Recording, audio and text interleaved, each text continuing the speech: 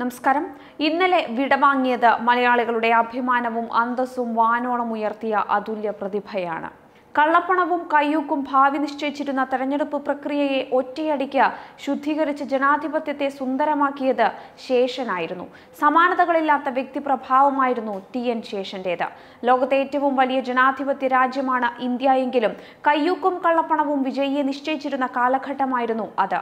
എന്നാൽ തന്റെ ഒറ്റ ഒരാളുടെ ധാർഷ്ട്യം കൊണ്ട് അതിന് അറുതി വരുത്തിയ വ്യക്തിപ്രഭാവമായിരുന്നു ടി എൻ ശേഷന്റേത്. നേതാക്കളെയെല്ലാം വരച്ച വരയിൽ നിർത്താൻ അദ്ദേഹത്തിന് സാധിച്ചു. വോട്ടിനും വോട്ടർക്കും വിലയുണ്ടാക്കി. രാജ്യം കണ്ട പ്രഗത്ഭനായ തെരഞ്ഞെടുപ്പ് കമ്മീഷണറായി ശേഷൻ മാറിയതോടെ മലയാളികളുടെ അഭിമാനവും ഉയരുകയായിരുന്നു. തെരഞ്ഞെടുപ്പിന് തൊട്ടുമുമ്പ് റദ്ദാക്കിയും ചെലവിൽ കൃത്രിമം കാട്ടിയവരോട് വിട്ടുവീഴ്ചയില്ലാത്ത നടപടികളെടുത്തും പെരുമാറ്റച്ചട്ടം രൂപപ്പെടുത്തിയും എല്ലാം അദ്ദേഹം രാഷ്ട്രീയക്കാരുടെ കണ്ണിലെ കരടായി മാറുകയായിരുന്നു. എങ്കിലും അദ്ദേഹം തന്റെ പ്രവർത്തന പാതയിൽ നിന്നും വ്യതിചലിക്കാതെ മുന്നോട്ട് തന്നെ പോയി. ഇത് അനേകം പേരുടെ ഉറക്കമാണ് കെടുത്തിയത്.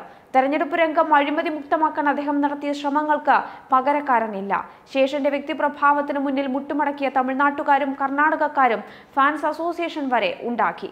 ചരിത്രത്തിൽ ആദ്യമായി ഫാൻസ് അസോസിയേഷൻ ഉണ്ടായ സർക്കാർ ഉദ്യോഗസ്ഥനായി ശേഷൻ അന്ന് മാറുകയായിരുന്നു.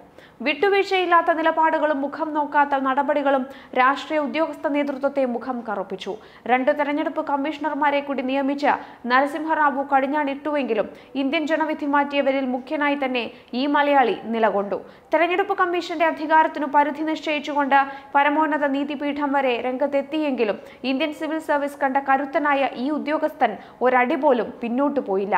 ഇ ചന്ദ്രശേഖർ പ്രധാനമന്ത്രി ആയിരിക്കുമ്പോഴാണ് ശേഷനെ തെരഞ്ഞെടുപ്പ് കമ്മീഷണറായി നിയമിച്ചത്. ഉടനടി തന്നെ ശേഷൻ തന്റെ കാർക്കശ സ്വഭാവം പുറത്തെടുക്കുകയായിരുന്നു.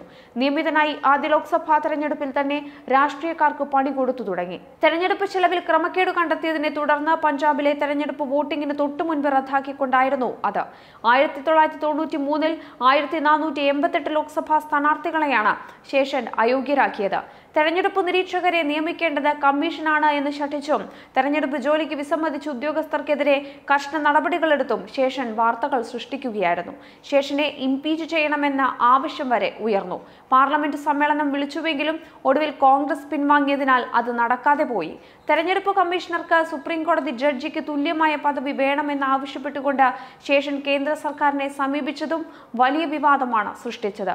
ശേഷന്റെ അപ്രമാദിത്വം അവസാനിപ്പിക്കാൻ ആയിരത്തി തൊള്ളായിരത്തി തൊണ്ണൂറ്റി മൂന്ന് ഒക്ടോബർ ഒന്നിന് നരസിംഹറാവു മറ്റു രണ്ടുപേരെ കൂടി തെരഞ്ഞെടുപ്പ് കമ്മീഷണർമാരായി നിയമിച്ചു. എം എസ് ഗില്ലിനെയും ജി വി ജി കൃഷ്ണമൂർത്തിയെയും.